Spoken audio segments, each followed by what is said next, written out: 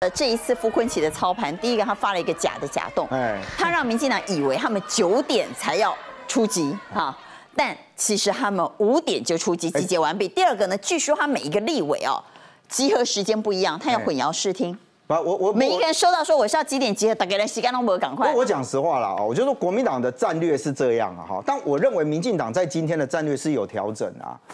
也就是说，你昨天赖清德在这个所谓的总统政治演说里面嘛，他不是讲说多多数要尊重少数，少数要服从多数。我认为，包含今天在大在立法院的外面哦，因为有一些这个民间团体发起大家去这个去那边抗议啊什么的啊。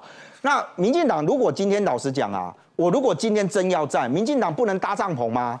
民进党不能早一点去吗？所以民进党不准备战，他今天是防守策略嘛？我觉得他的战法在改变。对他从攻击变防守。对，那他要诉求的是什么？你知道吗？其实诉求是社会舆论对这件事情的反感啊。好，社会舆论我们等会来看年轻人怎么说。来，林涛。因为为什么民进党不敢战？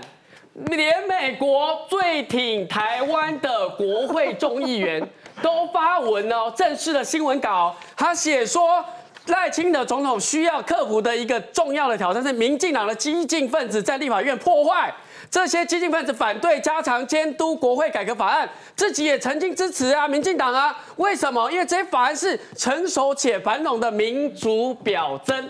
这发完之后，民进党现在我看到民进党最新的说法是说，哎，等一下这议员会出来澄清，就是民进党介入了嘛，很伤嘛，因为民 这个这个共和党的这个议员长期有台，而且跟这个萧美琴来过台湾，对不对？他来过台湾，对，而且跟萧美琴超级好，他都直接讲了不要再闹了。所以为什么今天民进党紧急收手？所以你看到现在最新的状况是，吕玉玲提这个立立院的刑事法第二十八条，一百零四票，所有人都赞成嘛。这种监督法案，这种藐视国会的法案，难道不应该挺吗？所以我觉得现在民党这些人，你看这今天韩国瑜院长他做了很好的示范，为什么？他说：哎，那我们要不要逐条逐条？讨论大家愿不愿意？哎，国民党、民众党都说 OK，结果民进党啊，没有没有在旁边瞎闹，没有回应。所以民进党不想讨论吗？对。然后第二个，他讲说，那我们不是就是希望逐条讨论吗？他不要，所以他希望逐条讨论。可是现在韩国人问你要不要逐条讨论，又不要，然后绑个绑个那个带说民主已死，代表什么？代表你根本就是瞎闹嘛！而且柯建铭还讲什么？柯建铭还讲说啊，这种啊，你们就是要把台湾变香港啊，这种完全是胡闹。来来来，我们今天。站在这里，让我仿佛我们是在中国人大的大会场，让我们仿佛是是在香港的立法局。今天在你主席台的不是国民党，也不是民众党，是习近平。因为国会已死，那才何太急。协商以后再表决，我们愿赌服输，少数服从中数。这个为什么这么急呢？是谁交代的？当然是习近平交代的吧。你们在急什么？急着卖台吗？这是一个历史讽刺啊！全部站在国家对立面啊！然后我要问你们国民党：你们选立委是在维护国家安全、呃创造人民的福祉，还是要出卖台湾？你们要先回答这三个问题啊！你们这三个问题没有回答，全国人民会站出来的。你们可以没收国位，但是你没有办法没收民意的。多行不义必自毙，对不对？为什么民进党不要讨论？林涛刚才讲话，我一句话都没插的原因是我尊重他的发言权。今天整个立法院的问题就是不尊重所有立委，我讲所有立委的发言权哦。二十八个国民党的版本，二十八个国民党的哪一个立委去做过他的提案说明？为什么最后？要讲的是最高机密啊！傅昆奇跟黄国昌表决是这个版本啊，最高机密的版本到今天都还在修。我要讲的是说，林涛，你讲话我都没有插嘴的原因是我尊重你的发言权，可不可以请国民党的傅昆奇跟黄国昌？尊重所有国民党立委、民进党立委、民众党立委的发言权跟提案权。二十八个版本，民进党没有半个版本。还有这件事情跟行政院有没有关系？过去在王金平主政时代都有行政院院版，为什么要让行政院也有权利发言？这次也没有行政院版本，委员会不见了，朝野协商不见了，院会的发言权全部不见了。你叫大家听你林涛一个人讲话而已吗？我觉得这整个就是一个破坏了王金平三十年来建立的一个国会朝野协商体制，而破坏的人就是傅昆萁。我表好来来，我先让民意讲一下哈，今天为什么你们到立院去抗议？是不是就是在抗议没收讨论权、没收协商权？是的，这个身为十年前就参与太阳花运动的一员。我必须要表达我严正的抗议吼。那我来举一个，因为既然我十年前在街头上嘛，我来举一个例子。我们来对比十年前这个案例。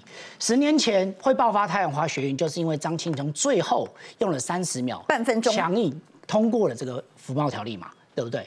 可是当时在通过这个服贸条例的时候，这个法案还有公告在网站上九十天呢，九十天呢，让大家看，只是因为大家关注点可能不在这边，没有去检视嘛。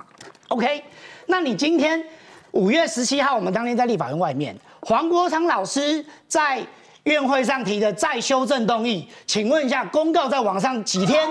答案是零零天，所以当天才看到吗？对，当天。后来当天立委才看到，但是民众连看都没看到，没错，连网上都没有上网嘛，没错。所以立委是修文字，上周五一七才看到，但民众呢？而且五一七还没看到，还不知道他们在打什么。没错，五一七什么时候看到？黄国昌在早上的时候送再修正动议，晚上七点议事处才把所有的纸本送到所有立法委员的桌上，就要开始表决。而且所有的公民一秒钟都看不到是在表决什么东西。十年前黄国昌老师说，服贸是服贸协议是黑箱。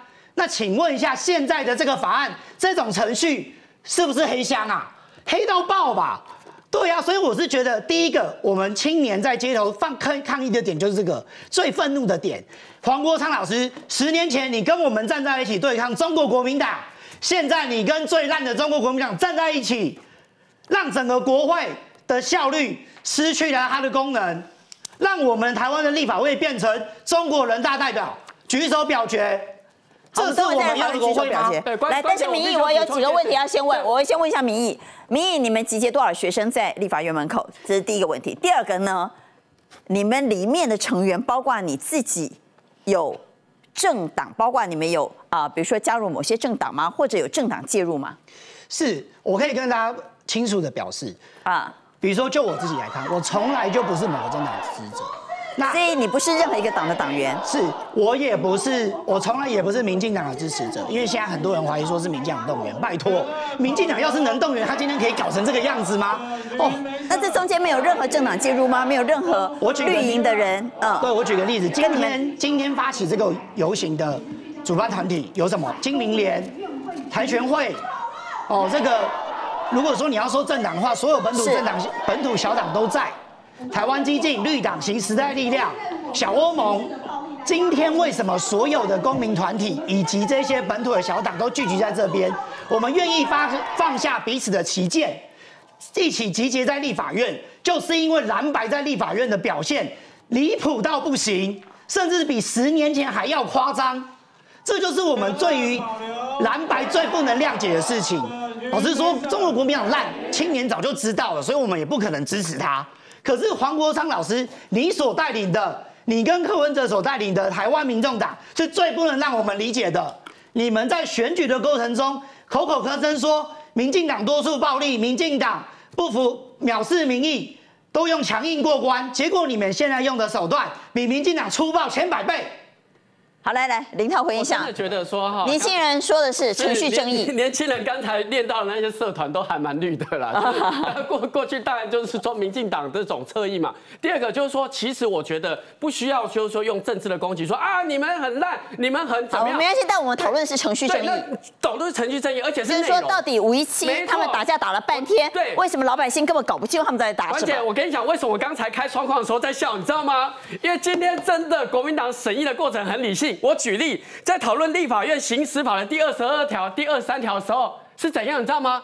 国民党撤掉自己的案去支持民进党，就民进党哎，怎么国民党还支持我的案？傻眼，也不也不能撤案了，那就尴尬，就变成就是说撤案就变成黑箱。所以今天民进党，所以有通过民进党支持的版本吗？然后因为民进党的版本是说这些官员、行政官员来备询的时候，时间不能给那么长。国民党是在这个补充书面说明时间给很长，给了二十天所以我们选了民进党的版本更严格，然后过关了怎么办？所以你可以看到国民党今天从早上发假动九点，我们五点就布局，然后在这个法案的弹性，我们去支持民进党的案子，你总没话说了吧？完完全全就是智取，而且希望过的就是国会改革的法案。